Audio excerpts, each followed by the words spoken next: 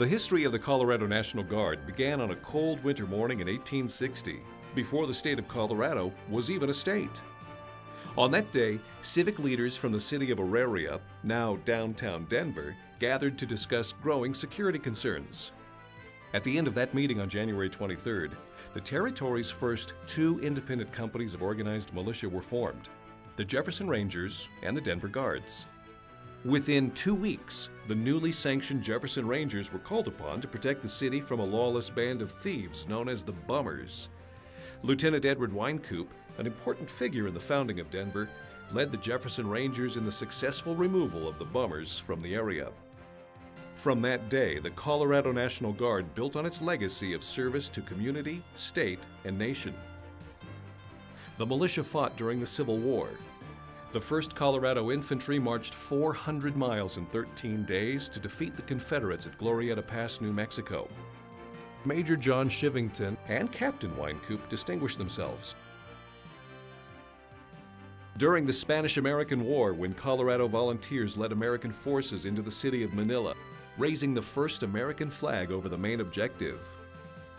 During World War I, when two-time Medal of Honor recipient and Adjutant General of Colorado, Paul Baldwin, sent Colorado soldiers under Colonel Patrick Hamrock to the front lines to provide artillery support in the main battles in the campaign. During World War II, Colorado Guard units fought in both Europe and the Pacific. One of Colorado's most accomplished military and civic leaders, Brigadier General Felix Sparks, led the 3rd Battalion of the 157th Infantry Regiment to help liberate the Nazi labor camp in Dachau. During the Korean War, Colorado soldiers and airmen mobilized for the first time as two separate military branches to stop the spread of communism. F-86 fighter pilots and artillery personnel both joined the fight. During the Vietnam conflict, the Colorado Air National Guard became the first Air National Guard organization to be called to combat as a unit. F-100 pilots flew more than 1,000 combat sorties from Phan Rang Air Base. They dropped more than 10,000 tons of ordnance. During Desert Shield and Desert Storm, Colorado citizen soldiers and airmen joined coalition forces to remove the Iraqi army from Kuwait. The history of the Colorado National Guard is one of many firsts. The first and only Air National Guard demonstration team, dubbed the Minutemen, hailed from Colorado. Walt Red Eye Williams led this precision flying team, which, beginning in 1953, performed at air shows across the country and around the world. Their daring maneuvers showcased precision flying skills to thousands. They captivated the public and increased recruitment into the Colorado Air National Guard until the unit disbanded in 1959. The Colorado Guard was even first in space for both Army and Air. Soldiers in Colorado Springs are ready to defend our nation from ballistic missile attacks.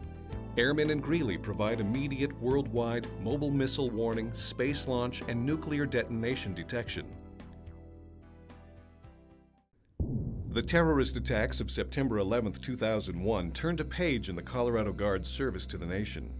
Within minutes, airmen launched the first defensive aircraft over Denver and provided round-the-clock combat air patrols over the Colorado Front Range.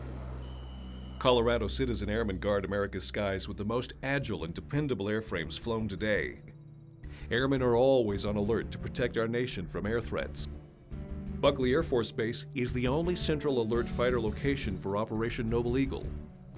These same F-16s were also the first of their kind to arrive in Iraq to support Operation Iraqi Freedom.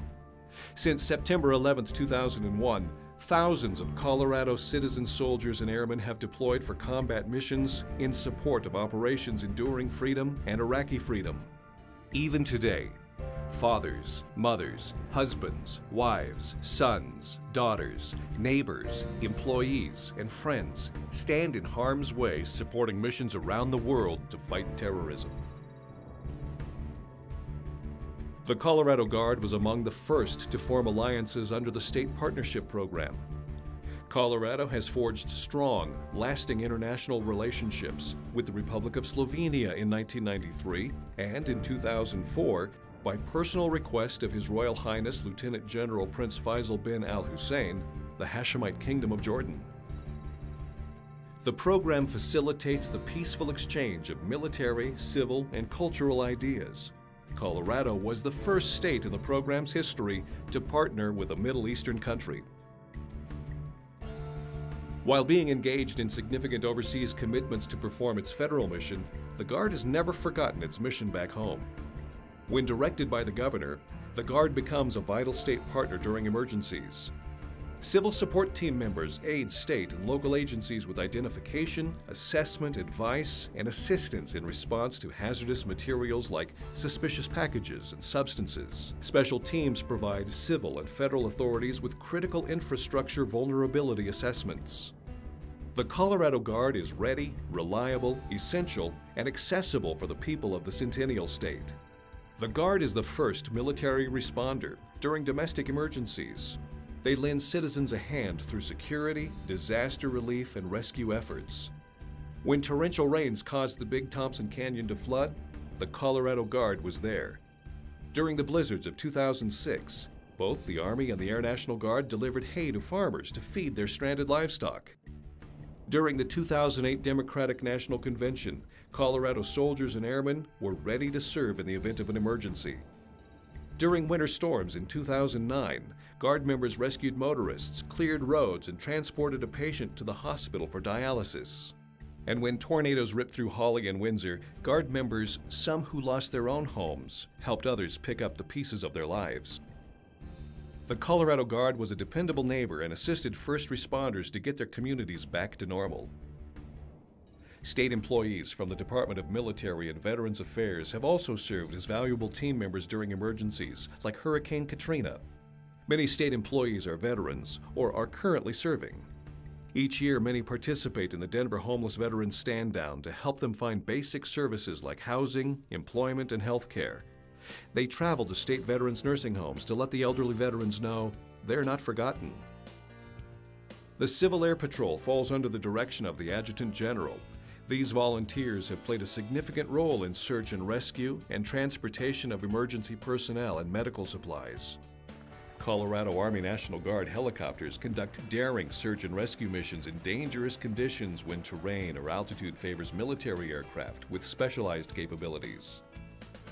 Colorado is home to the only U.S. military aviation school that trains pilots to manage power in mountain environments. The High Altitude Army National Guard Aviation Training Site, known as HATS, draws military pilots from around the world to the small mountain town of Gypsum. The Guard is Colorado. Each citizen soldier or airman has a vested interest in a community somewhere in the state. Guard members are firefighters, teachers, airline pilots, mechanics, police officers, doctors, ministers, and lawyers. They all work in and out of uniform to better the Centennial State. Colorado's Joint Counter Drug Task Force assists law enforcement with hundreds of arrests and seizure of currency and drugs. Through its signature Red Ribbon program, Guard members personally challenge local students to stay the course, finish school, and excel in all they do. Guard men and women have educated more than 100,000 Colorado youth in drug abuse prevention. Colorado soldiers and airmen train like they fight. Training opportunities can apply in both the civilian and military worlds. With a generous tuition assistance program, Guard members can attend any of Colorado state colleges and universities. Exercises with civil authorities and first responders provide realistic training to build a knowledgeable force. Innovative readiness training develops skills and builds community trust such as when Colorado soldiers and airmen volunteer with the 9 Health Fair to transport medical supplies across the state. This brings critical health screening capabilities to thousands in need.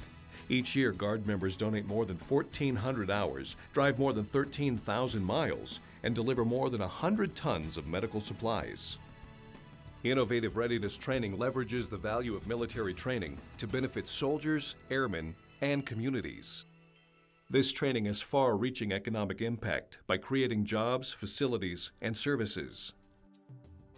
The Colorado Guard has always answered the call of the state and nation. To continue to do so, the Guard must attract and retain quality soldiers and airmen. Service members must have time away from work to train and serve, and jobs waiting when they return. The Colorado Guard appreciates and honors employers for their selfless sacrifice and contribution to the security of the state and nation. No soldier or airman could rise to their full potential without support at home. That's why the Colorado Guard has internal support programs to ensure families are cared for during peacetime and war. Family sacrifices should never be forgotten.